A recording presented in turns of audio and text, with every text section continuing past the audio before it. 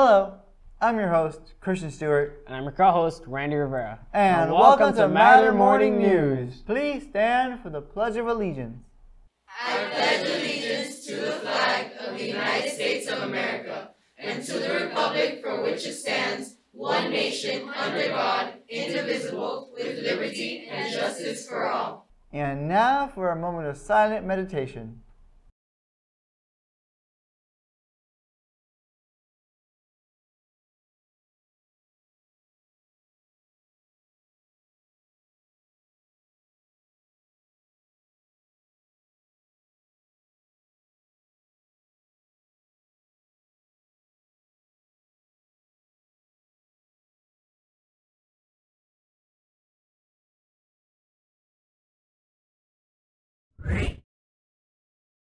Good morning, Lions! Today is Tuesday, October 5th.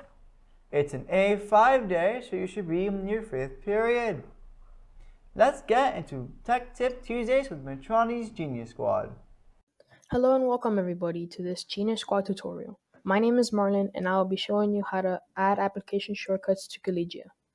The first thing you need to do is open Collegia. Then at the top right corner, you're going to want to sign in.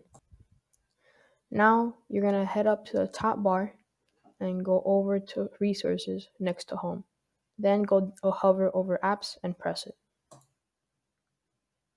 Now you can add any application you want for me, I'm gonna add PLTW. And now to access it, I can go back up to home.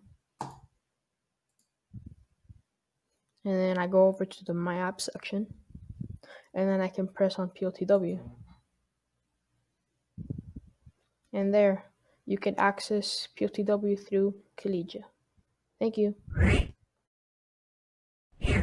What a great video from our Genius Squad. If you're interested in more, please go follow them on Instagram.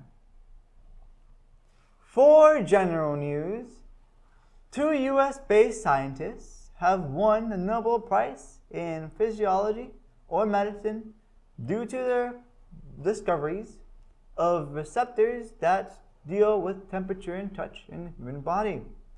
An oil pipeline failure has led to a great spill of 126,000 gallons of crude oil into the Pacific Ocean. For local news, the traveling haunted circus will be at Tropical Park in Miami until October 31st. For more information, go to www.hauntedcircusmiami.com. And the Miami Carnival will be taking place October 8th through 10th and will be the first carnival held since the pandemic started. And now for trivia. What is Chandler's last name in the sitcom Friends?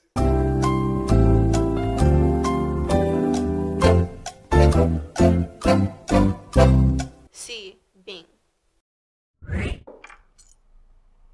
For lunch, you will have your choice of a salad, ground beef nachos, or a slice of pizza, with your choice of milk or juice. For the weather today, it'll be partly cloudy and will reach a high of 90 degrees Fahrenheit. And throughout the day, there will be a 15% chance of rain. And now for the morning announcements.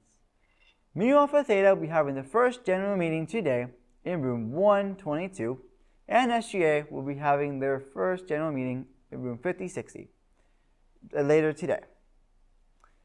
Geometry retakes are taking place today and tomorrow. The IOC meeting will be taking place after school tomorrow, in room 5060. Key Club is hosting Mater Night at Menchie's in 49th Street.